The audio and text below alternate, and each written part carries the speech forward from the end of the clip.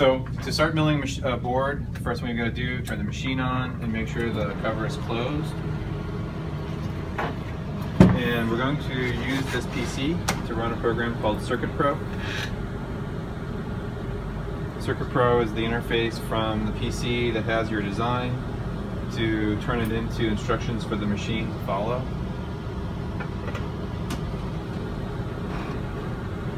We're going to find the project that we want to make. In this case, this is going to be the uh, fail board.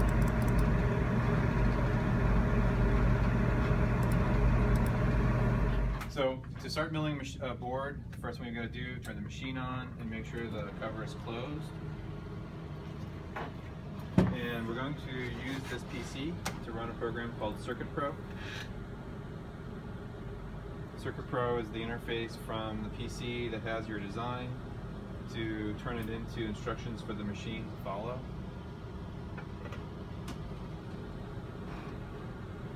We're going to find the project that we want to make.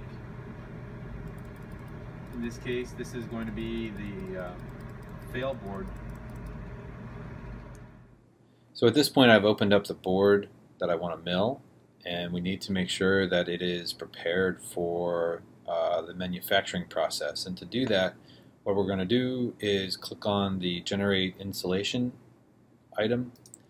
And for this particular board, I've chosen to do a full rub out. Um, I also want to make sure that my primary tool is a, the 0.2 millimeter uh, universal cutter. This dialog allows me to also choose if I wanted to have extra insulation or any other special um, uh, items or options. Um, I think for most of the projects that we're going to do, this is the defaults here are sufficient. Um, the contour routing allows me to choose how I want the board to be um, cut out. In this case, we'll have just the corners of the board um, but you could choose, for instance, to have um, more tabs, um, but more, also more cutout. Um, this might be good for a very large board where the little four corner tabs aren't enough to hold it in place. Um, you could even choose to um, just have vertical gaps, horizontal gaps, no gaps, which is not recommended. Or, or even if you take out the board outline, you could even choose not to have any uh, contour at all. So for this particular board, I know they're very small. I'll probably just keep it here on the corners, um, or else if it was a larger board, I could do equidistant. So let's start. The um, software will take our board design and all of the different options and determine exactly what tools are needed to make this board. Um, and so at this point, everything should be all okay. So we hit close. The next thing we do is we prepare the board for um, processing. And to do that, I use the wizard and I'll use the board production wizard. Um, in this case, it says I'm not connected to the machine. Um, if that happens, we're going to use the machining uh, toolbar and go to connect. And um, I'm not actually connected to a real machine right now, um, but if I was, I would choose S63. I'm going to pick on virtual, um, so I can actually use this for demonstration purposes. And the software pretends it's connected to a machine.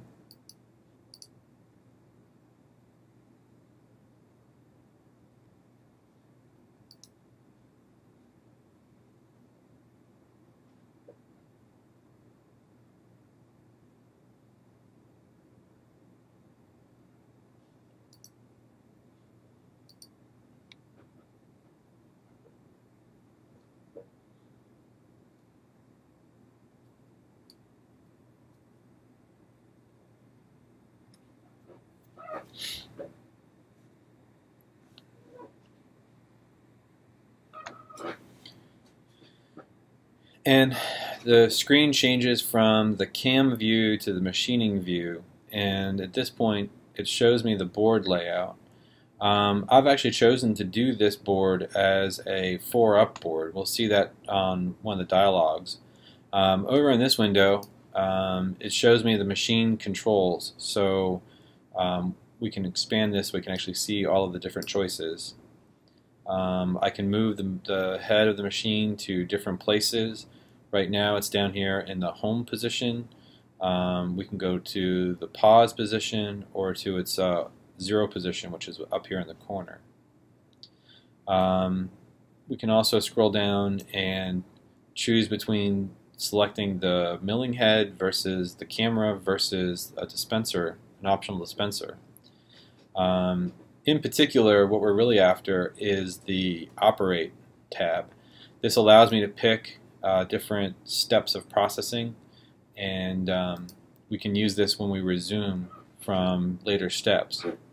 Um, I can still change my view here. So I, for instance, I can go to toolpath and I can see all of the different tool paths um, that are generated by the uh, uh, toolpath tool. Um, anyway, uh, without going too far into the weeds, um, what we're do what we're ready to do now is actually to begin. Um, so now that we're connected, I can go back to the board production wizard and it will walk me through the steps and it says to mount the base material onto the board um, which I'll do. It does say to use adhesive tape. Because I know that we're next step here is to do the drills, those drills are the only thing it's going to do and there's really not a lot of uh, sliding around action on the machine. So we don't need to tape it down for this step. There's a vacuum table that will hold the board in place. Um, later on, when we go to actually cut the board, we'll put tape on. So we'll have a board for you, or you'll see the professor for the board. It'll look like a copper sheet, almost 8.5 by 11. Um, it's like a A4 series paper because it's European. Um, we make sure that the white foam tray is flat and free of debris.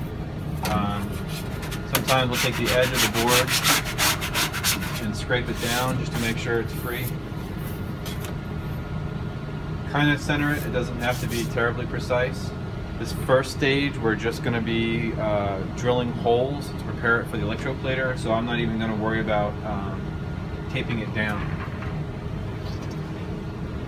All processing has to happen um, this screen that comes up is saying that the tool might expire shortly. Um, this is related to the, the, concept that the um, software is tracking the use, the lifetime of the tool, how long it's been in contact with the board. And apparently this tool will either um, is already exceeded or will expire during the processing of this board. Um, if you're not sure how to proceed, you can contact your faculty member or Mr. Boyum. The uh, tool that's in the in the machine should be sufficient. If it's not, we'll arrange to get you a new one. But please don't change the tools yourself um, without checking with the faculty first. Um, so the, the dialog box that comes up next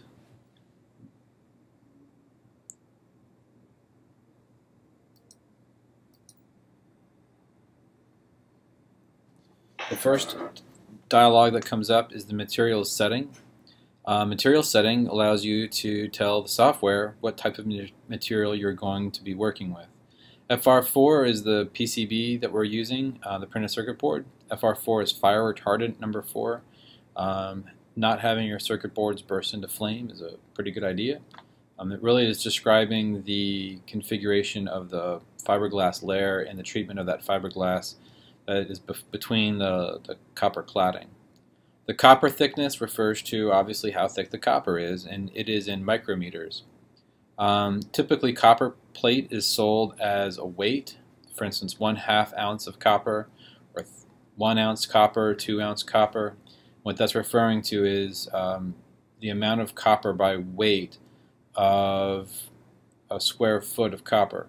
So a half ounce sheet of copper that was one square foot would have a half ounce of copper. Um, those turn into very standard numbers.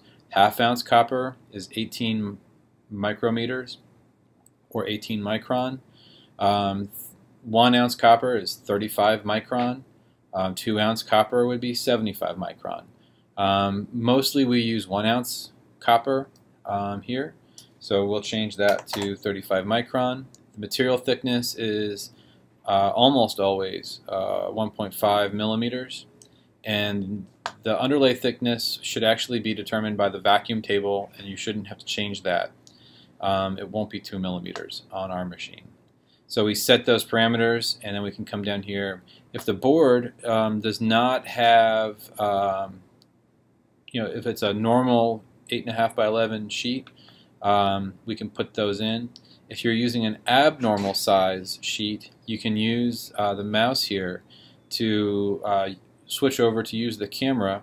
And the camera, you can kind of jog around to find each corner of the copper plate. So you find the bottom left and the top right, um, and then the machine will learn where the copper is. We'll just take the defaults and we'll hit OK. This dialog box is the, the next in the sequence. This is the placement dialog box. Um, the only thing we typically would have to do here is do set center. Um, this would actually center the design on the PCB. Um, if you want to have multiple uh, copies, so for example this fail board has four in the copies in the X direction and four in the Y direction, so this is a 4 by 4 up board. Um, that would allow us to take your design and, and kind of span it. The parameters down here allow you to add extra space between those copies. Um, if your board goes edge to edge and you don't have any space between them, you can use this to add uh, some just some extra space for processing and being able to tear apart things and uh, just having space to work. If we're all set, we can hit continue and the machine will uh, start its process. Again, this first part of the process is it will start to drill, and we should be able to watch the machine uh, do that. This is the process where if you take your eyes off it long enough, the machine will notice it and crash. So you can't really walk away while it processes your board. In this part here, we're only drilling holes to prepare it for the electroplater um, it will go pretty quick.